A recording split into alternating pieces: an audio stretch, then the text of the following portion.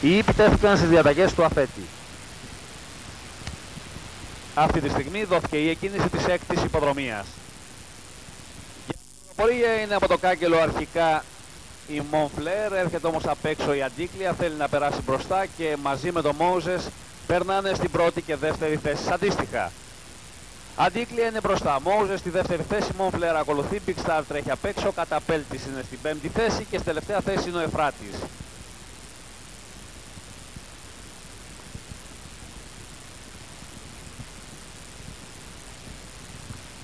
Η Αντίκλια κάνει κεφάλι. Ο Μόζες είναι κοντά της, στην τρίτη θέση είναι απ' έξω Big και στο κάγκελο Μονφλέρ.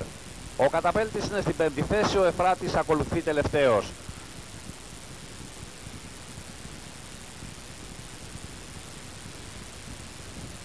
Στα χίλια μέτρα η σειρά δεν έχει αλλάξει, είναι μπροστά η Αντίκλια, είναι στη δεύτερη θέση ο Μόζες. Big Star ακολουθεί, Μονφλέρ έμεινε πιο πίσω. Καταπέλτης και Εφράτης στις τελευταίες θέσεις.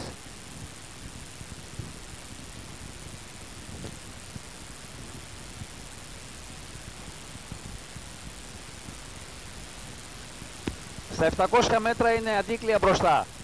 Είναι στη δεύτερη θέση Moses. Big Star ακολουθεί.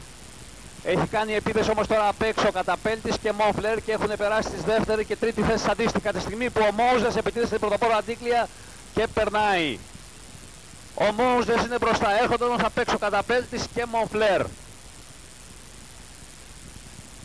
Αλλά και η αντίκλεια από μέσα δεν έχει καταθέσει τα όπλα. Μπαίνουν στην ευθεία.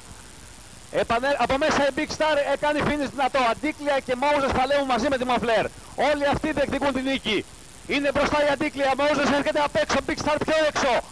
Αντίκλια και Μόζες απ' έξω από μέσα η Big Star. Αντίκλια και Big Star.